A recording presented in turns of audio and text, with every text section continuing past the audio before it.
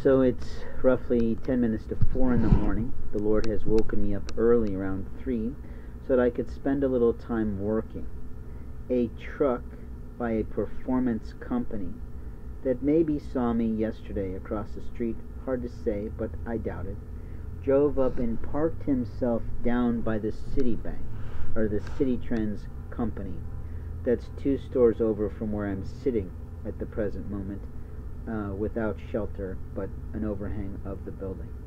And I'm working on responding to a potential opportunity and friendship in the way that we do. And the person walks up to me, tries to hand me a honey bun, not the type that I would eat, and openly some money. I keep saying no to him, but I have received the item, and it's awkward because I am instructed to not reject people by the Lord, but at the same time I am in need of funds. I don't like the play of law enforcement officers that want to pretend to be things in front of the house of God. It's a form of abuse. How did that man know I was here? Did he see me when he was delivering food to one of the restaurants? Did he feel compassion for someone who is in homelessness? Or is he really a law enforcement officer borrowing someone's truck to drive in on for abuse? As many times as I said no, I didn't have my shoes on, so I really didn't want to walk in wet feet or socks across a wet, damp parking lot from the rain. And literally, I don't like when people try to insist like this. I don't like that I feel put upon to say no to things and food because someone's trying to play a game of Will he receive the food if I put money underneath it?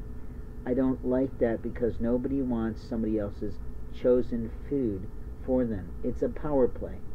The illegalness of the lies that people tell is I'm in power and I'm going to demand, regardless of your principles and the way that you are passionate about refusing food, to make you accept this food.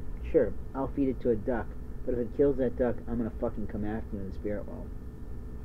What I mean by that is I do pray against the hellish people who like to lie to themselves about who they are to me.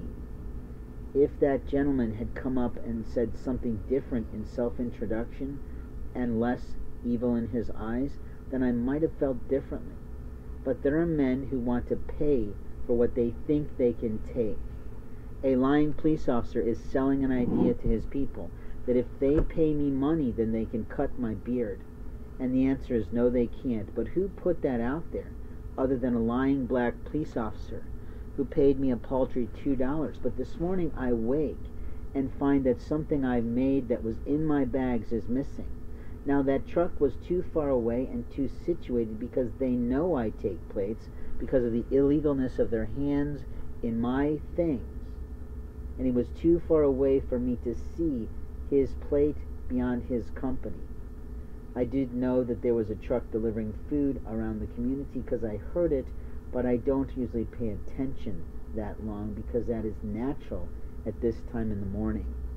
But when people have the rights to refuse food, it shouldn't be a you will take all of this from me. It should be more of a hello, it looks like you might be in struggle.